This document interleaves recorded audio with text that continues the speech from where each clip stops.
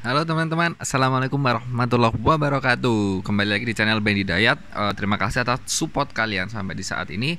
Pada malam kali ini aku mau berbagi sama teman-teman Tentang pentingnya si stempel.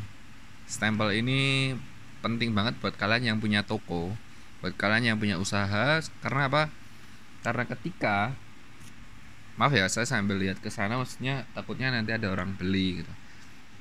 Uh, ketika kalian punya toko pasti nanti akan ada uh, pengusaha bukan pengusaha orang-orang UMKM yang menitipkan barang-barang dagangan kepada kalian. Jadi mereka akan titip barang uh, dagangan mereka. Entah itu jajan snack uh, parfum terus beberapa barang-barang dagangan seperti yang lainnya.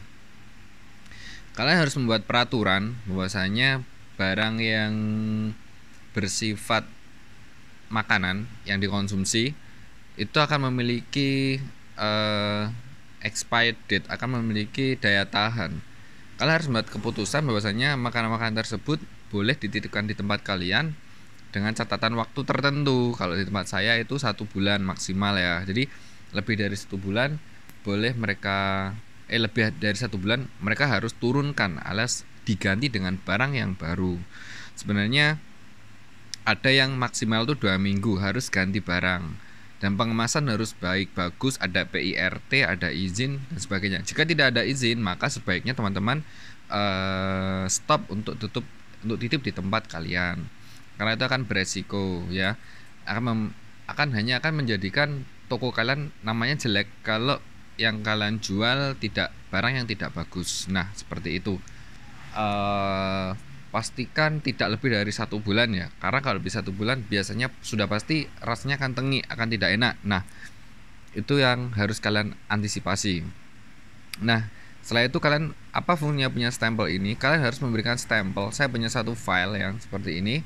Ini isinya barang nota kredit dan barang titipan milik orang lain. Jadi setiap nota yang dititipkan oleh customer kalian kalian harus stempel dan tanda tangan kalian supaya apa? Karena sudah banyak sekali kejadian ya guys ya. Ini semuanya barang-barang titipan.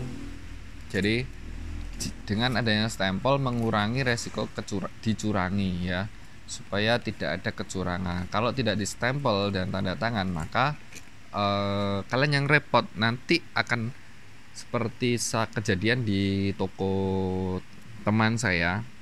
Itu uh, di oleh orang lain diidentifikasi dilihat barangnya setelah itu dia jiplak uh, ininya stempelnya. Setelah itu dia storekan dia minta uang. Padahal dia bukan pemiliknya guys.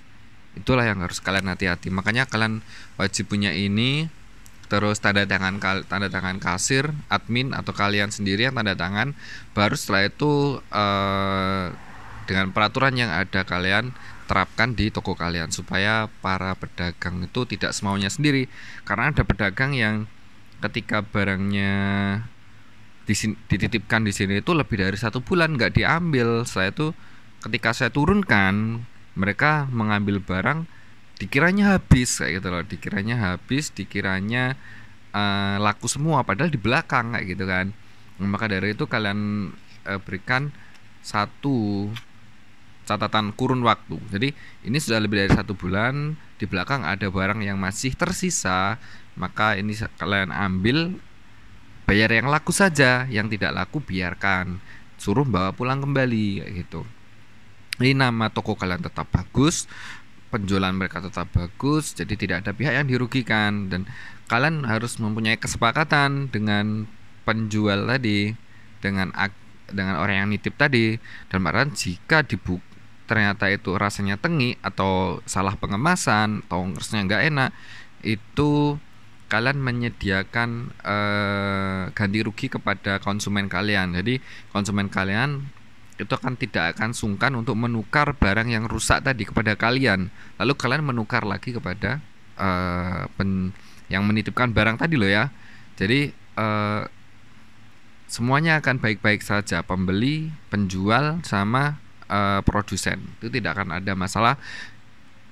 Jadi kalian harus buat perjanjian dari awal. Dipahami saya itu suruh tanda tangan oke okay, mintai KTP-nya nomor teleponnya alamatnya itu yang harus kalian lakukan. Oke terima kasih sudah stay tune. Terima kasih atas support kalian. Saya Ben Hidayat pamit undur diri. Assalamualaikum warahmatullahi wabarakatuh